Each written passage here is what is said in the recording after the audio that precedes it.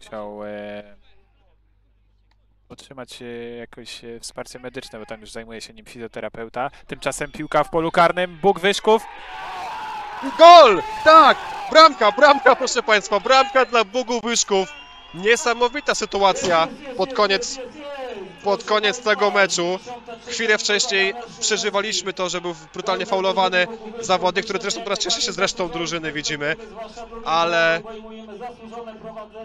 strzela.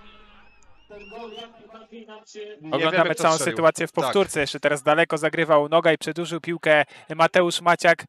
I chyba Damian Sierblewski dał e, e, trzy punkty swojemu zespołowi. A więc e, dwa do jednego i dużo bardzo emocji w końcówce.